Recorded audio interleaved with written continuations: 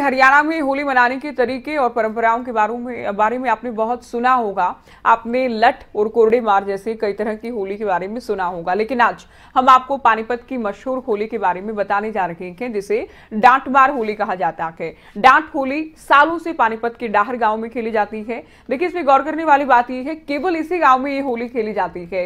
इस दौरान सारे गाँव के पुरुष गली में इकट्ठा होते हैं, दो भागों में, दो पक्षों में बट जाते हैं, दोनों पक्ष एक दूसरे को क्रॉस करने का प्रयास करते हैं, महिलाएँ ऊपर से रंग बरसाती हैं, गुलाल बरसाती हैं साथ साथ आप ये तस्वीरें भी देख रहे हैं।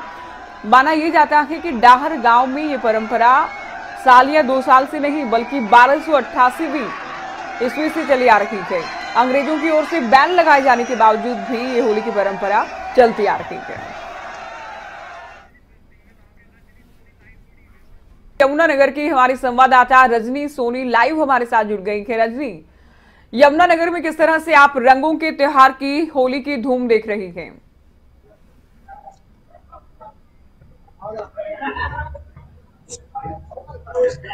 बिल्कुल ज्योति, जैसे कि आज के त्योहार को रंगों का ही त्योहार बोला जाता है और यहाँ भी जो लोग हैं, सुबह से ही सड़कों पर उतरे हुए हैं। मैं इस समय शिक्षा मंत्री कमरपाल गुर्जर के निवास स्थान पर खड़ी हूँ। यहाँ भी आपको मैं दिखाना चाहूँगी कि किस प्रकार से लोग जो हैं, वो रंगों में नज़र रंगे हुए नज़र आ रहे हैं और सुबह से ही शिक्षा मंत्री कंवरपाल जी को जो है, होली की शुभकामनाएँ देते हुए नज़र आ रहे हैं। मैं थोड़ा सा आगे भी आपको लेके जाना चाहूँगी कि यहाँ पर किस प्रकार से शहर के लोग जो हैं, वो तो आ ही रहे हैं, साथ ही साथ अन्य जिलों से भी लोग आ रहे हैं और यहाँ पर शिक्षा मंत्री के द्वारा जो है लोगों के खाने पीने की भी यहीं पर व्यवस्था की गई है और आप देख सकते हैं कि लोग जो हैं यहाँ पर खा, जो है, खा पी भी रहे हैं और शिक्षा मंत्री के साथ साथ अन्य जो लोग हैं, वो होली में रंगे हुए नज़र आ रहे हैं। हम लोग कोशिश करेंगे कि शिक्षा मंत्री कंवरपाल जी से भी बातचीत करने की।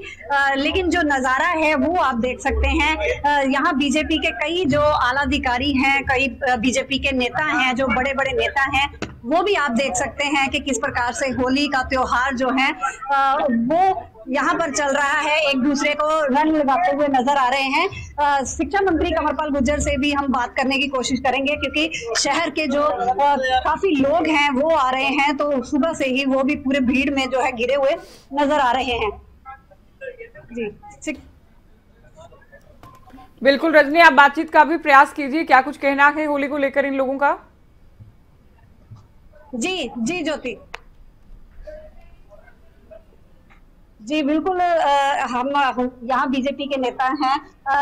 राम आप सर बताए किस तरह से जो है त्योहार मनाया जा रहा है? आज